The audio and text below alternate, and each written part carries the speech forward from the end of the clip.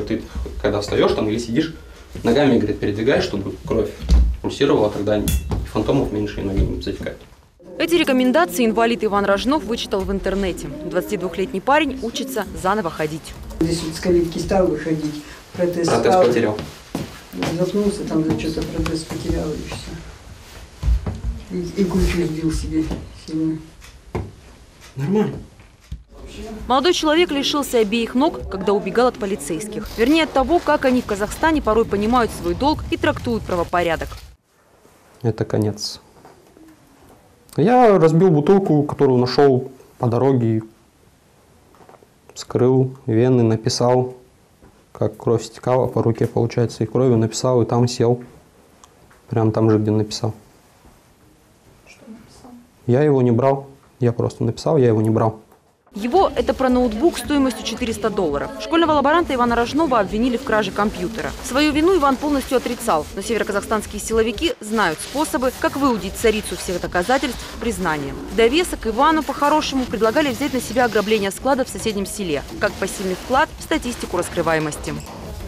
Тем более они его как допрашивали без протокола. И почему привезли они, когда его в РВД туда, они ему не предъявили ни адвоката, ни прокурора, никого. Вот доставили, как говорить, вот скажи и все. Как бы вот сознайся, что тебе уже все равно. Если они в школе себе позволяли такой беспредел, они бы обратно увезли меня в свой отдел там или как вот это. А в школе они позволяли себе какой беспредел? Ну, вот началось с вопросов избиения, матершинная речь, нецензурная, оскорбление, унижение и прочее.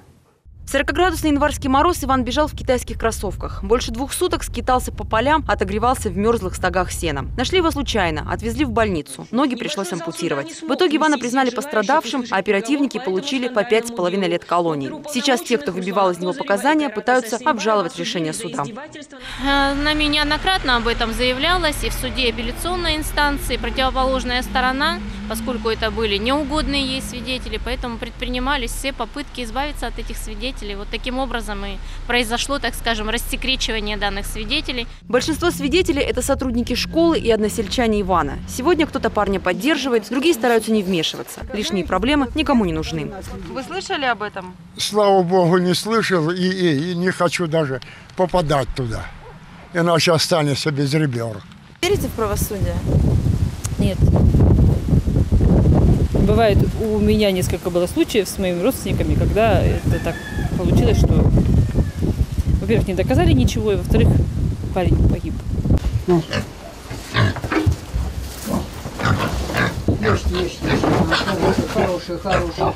С момента этой драматичной истории прошло уже больше года. Жизнь идет своим чередом. Хозяйство, огород, в семье пятеро детей. Иван самый младший. Его жизненное пространство сузилось до размеров этого маленького деревенского дома. Но Иван, как прежде, ходит в ту самую школу. Другой работы в его родной Ясновке нет.